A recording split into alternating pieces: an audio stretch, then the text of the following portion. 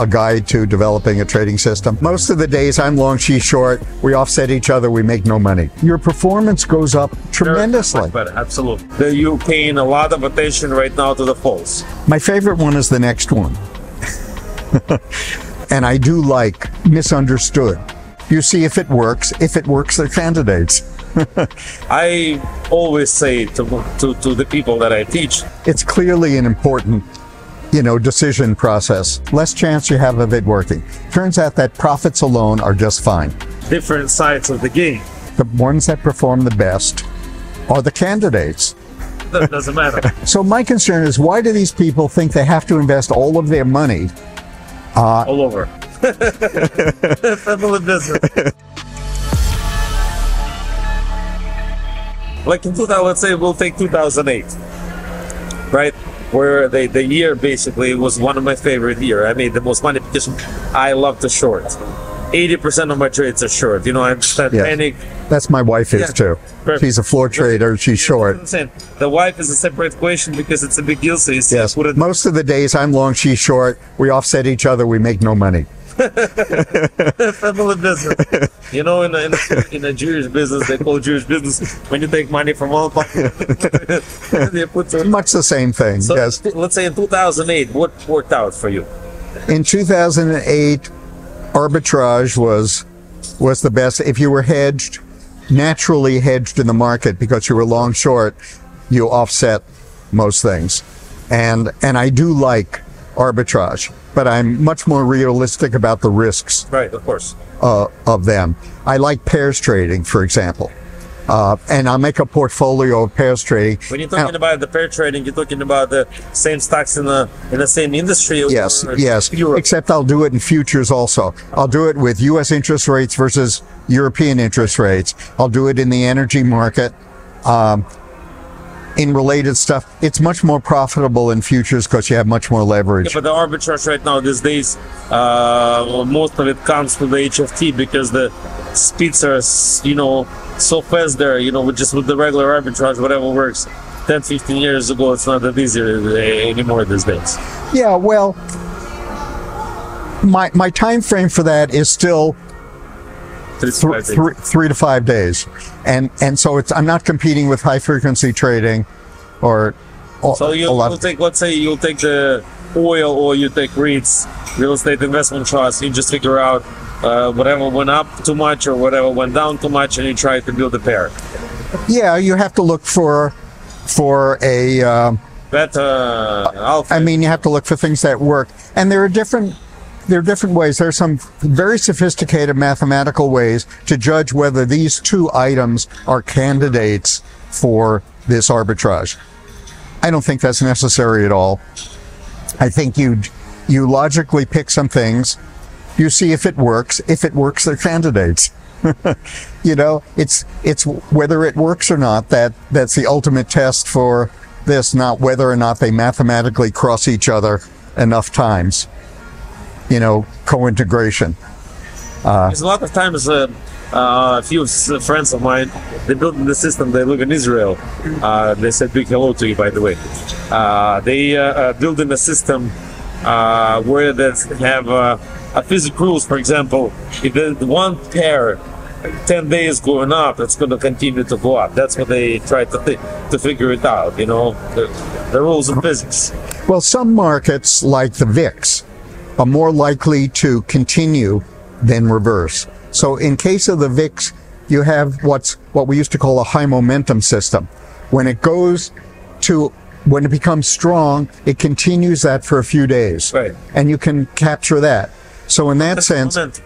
yeah. So, in that sense, I do trade that, and it's almost the opposite of the three-day pattern that we were talking about.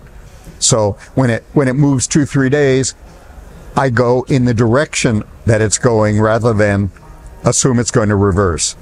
And of course, the VIX is heavily biased towards selling. Correct. So Big time. yes, A few days uh, last last week when the market went down the VIX went up almost 40 percent few days yes, yes. It- uh, okay um, By the way, there is another system that that I like, which tries to identify um, um, sharp bottoms in the market, like blow off bottoms, with a combination of trend and high volume and and oversold. And and it tends to be highly reliable. And I I pub, I think I wrote about it in some magazine. But you, but you were saying oversold.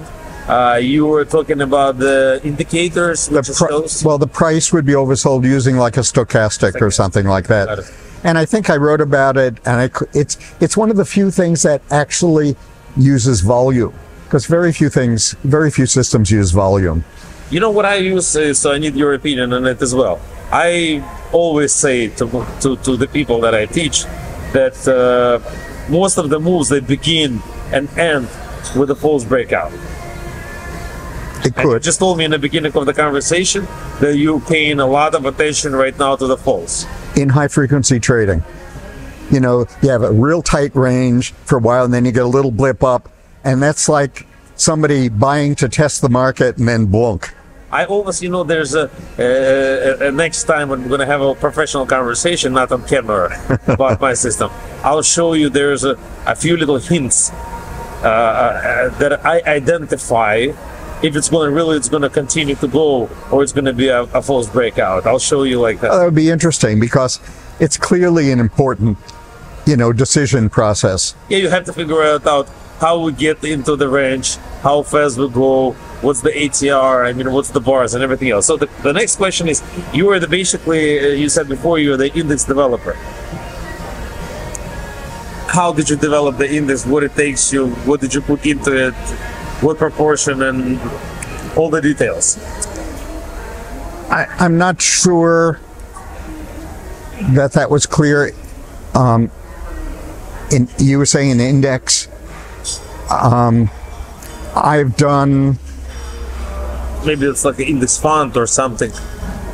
Um, because it's in your Wikipedia, it says index developer. If it's I'm the, no, I, we can, we can skip. yeah, I, I'm I'm not sure. I did show recently that if you wanted to um, trade an ETF, uh, like a sector ETF, if you if you took the ten largest stocks, you would do much much better Of course, than ETF itself. yeah, because in as with portfolios which could be over diversified, I believe portfolios should not be over diversified. That's yeah. I always, if you would see my classes, I always mention you, your numbers and everything, and I always say one thing: you saying that over diversification is the is the mother of enemies. That's what it. I always say the same. When it's, not too much, It's you know, think about it. Think about portfolio construction. Most of the CTAs that have lots of money try to diversify into as many things as possible. When you do that, you start to introduce marginal profits and marginal returns and more risk. When I started doing stocks about 15 years ago, I moved from futures to start applying stocks. Mm-hmm. It was a real interesting problem because now I have 2,000, 4,000 stocks and I only have enough money to trade 10 or 20 or 30 with a big enough position for whatever. And so now you have to figure out how do you pick out of 4,000 stocks which ones you want to trade. of. And so the way you do it is on on how the system how the stock performs on your system. The ones that perform the best are the candidates. When you're saying the one of the perform the best, you're talking about from a Only history. only yes, historic profits only. If you start saying profits plus risk plus the number of trades, the more qualifications you put on it, The the, less less chance you have of it working. Turns out that profits alone are just fine. So basically, you're just saying that in the last five years, the stock give the most money. That's the, the one I'm going to trade. Right. But my time frame's shorter than that. I'll use um, three months and one year. So basically, you don't go too far into the Be- history. because because market market is changing. Here, I agree with you 100. percent Yes. shouldn't go that dip. markets that stocks that used to go sideways all of a sudden start to move because of something and you want to you want to participate in them so you do that and then you rank you rank them you pick off the 10 or 20 best ones that you want and and when they fall out of that ranking you replace them with something else now I then went back and and I did that in futures. And because we used to have well diversified portfolios. And the fact is, if you can just eliminate from your portfolio a few futures markets that don't work well, your performance goes up tremendously. Better, absolutely. So all you have to do is concentrate on on looking and saying which one of these things I'm trading is not doing well. Of course, sometimes when And you it's- well diversified, uh, this uh, pure uh, stocks or futures, they bring your performance down Yeah. big time. Yeah, so so my concern is why do these people think they have to invest all of their money all over. i- if they're investing in something that is not giving them the right return? It's better to put that extra money in interest rates and have a higher performance on the money you have invested. Some of the people they basically uh, care a lot about the drawdowns, and you know they're saying uh, diversifications smoothen the drawdowns. Not always. Yes, but adding a 64th item to your portfolio in these big funds makes no difference whatsoever. And and they'll find that the benefit of trading less but trading better is gigantic. And it doesn't not hard just to eliminate just if you have 60 markets, you must be able to eliminate 5 of them. You eliminate 5 markets that are performing badly, your returns are better. So I'd rather trade 20 good markets than 60 mediocre ones. So let's talk about your wife. Okay? My, she, she was on the floor of the CME for 25 years. You married? Uh, we're only married uh, 20 years, but we met and we've known each other professionally since 1971. So, The year I was born. so yes, it took us a while to get to. We had to go through a few other relationships, and we finally found that we had a lot in common. Ob- Obviously, so she started as a floor trader Yes, yes. on the She- Chicago board. What did she? She started when when gold came. She was there a little before when gold started to be listed. She started trading currencies, and then eventually the S and P, and things like worked for the company uh, as a floor trader. No, she was a member. She was a member. Yes. So, Impressive. and she traded herself and a book as well. And then uh, when the um, and then she went off the floor in the 90s, and she. Um, do did you hear of the ISE, the International Securities Exchange? They were the first automated options exchange Nineties. In yes they came in in the late 90s they went public uh, shortly after I see. ISE, not ICE, I. Uh, not ICE. Yeah, this was options. They forced the Chicago Board Options Exchange to lower their prices and become automated because they couldn't compete. The ISE was doing so much better, and she became a, a managing director of, uh, or uh, not a managing director, but a director, head of compensation, head of a, a number of things there, and and she took it all the way from when it went public to when it was sold to the Deutsche Börse 10 years later and went private. It was it was a Harvard Business School classic example of what to do with a company from from founding it to going public to building it to selling it. I, how basically it, it's very hard sometimes when a husband and wife, two professionals, by the different sides of the game. So you know how you get Oh. along. She's a better business person. Um, and she's a good trader, but she's only short. As a floor trader, she can't stand going long. She loves going short. So- She thinks thinks the market's going to crash any moment. Oh, it's good if she makes money, so she's right. She she knows how to manage risk, Which the most important thing. which is you know you survive as a floor trader. You have to manage risk, but. Um, but she is a much better business person than I am. I'm more involved with the strategies, and you know, I I I like opportunities, but but she will sort through them and say, I like, and and she'll veto things where she doesn't like the person. You Very know, she's She trades right now.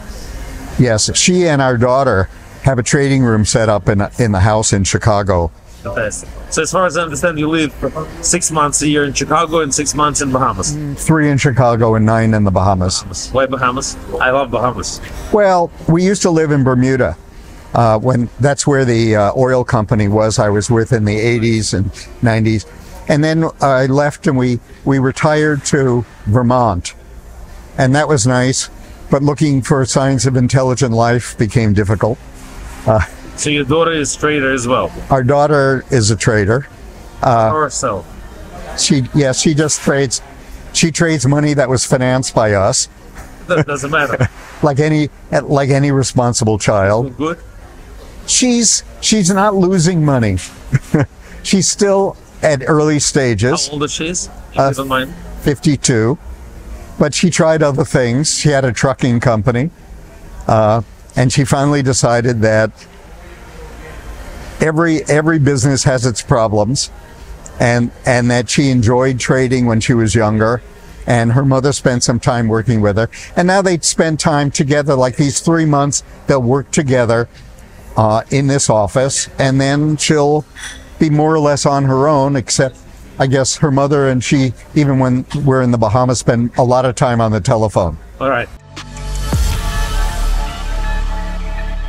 Now, before we go to your books, very uh, serious question from a very serious person who is basically a big fan of yours. Okay. Uh, it's about uh, empiricism. It's the practical approach to a problem. Yes, in the last 70 years, the technological progress basically is much faster grown than the progress of human nature. By far, the technological is we're the people. We're not like uh, you know we don't have any progress. Pretty much, we walked 100 years ago. We're still walking right now. but in the technological, so the in, in uh, empiricism it says. Uh, why is that? Why the technological process as well? Because uh, the reason is it's a total denial of uh, uh, empiricism. So example is, if we saw the sunset in the past, we're saying that in the future we're going to see the sunset again. Okay. Uh, if it's in trading, we're saying uh, if the pattern worked before, we should see that pattern work in the future. If uh, empiricism, empirical, is a false of obtaining a knowledge, that's what the Well, understanding history is always important. So, from that sense, it's true. And some things continue to work and some things don't continue. Whereas I don't completely agree with it. You have to think about it as whether they're temporary or structural changes in, in life and in the markets. And I believe some of these are structural changes. And that that when something structurally changes, they can't come back to the original state or they can't repeat what was once there. It's in some ways you have to think about trend following.